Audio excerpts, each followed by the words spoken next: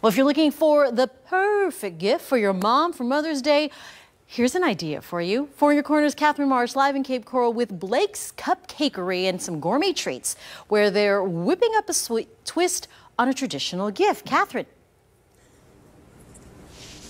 Good morning, Jane. Yes, we have some sweet inspiration for you this morning for Mother's Day. We have, we're actually going to teach you how to make one of these beautiful floral bouquets. Now, I know it looks like flowers, but it's actually cupcakes. So what better way to celebrate mom than with a sweet treat that's also beautiful?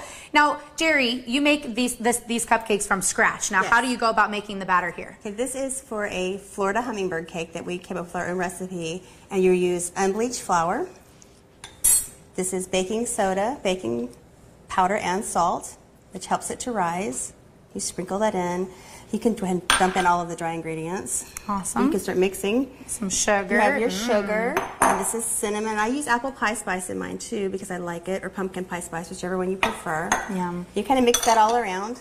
Make a little hole in the middle once it's all incorporated there. Go, girl, go. Using my muscles here. Yes. Then you make a little well in the center. Here, we'll make a well. Okay. You can put in your eggs, and then you add all of your wet ingredients, which is eggs. Oops. And oil, which makes it light and fluffy. You can go ahead and add in your pineapple. This is the crushed pineapple with the juice. Oh, that looks good. You can stir. Thank you. And you want to stir really good and get it nice and incorporated.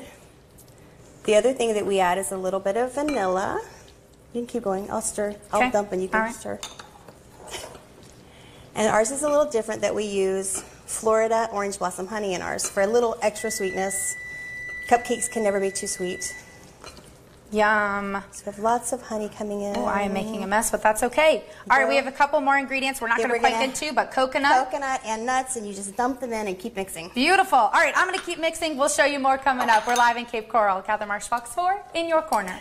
All right, so far so good. Thanks, Catherine. So if you'd like a Mother's Day bouquet, maybe a, a vase flower arrangement from Blake's Cupcakery, it's $38 for half a dozen. You can choose from a variety of different flavors with uh, buttercream frosting. For more information, just head over to our website, fox4now.com.